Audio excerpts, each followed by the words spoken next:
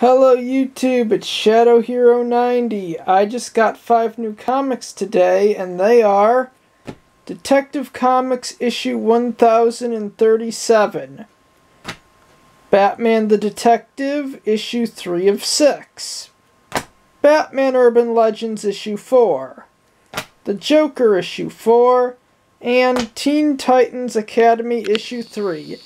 And always remember that DC Comics are way better than Marvel Comics and always will be.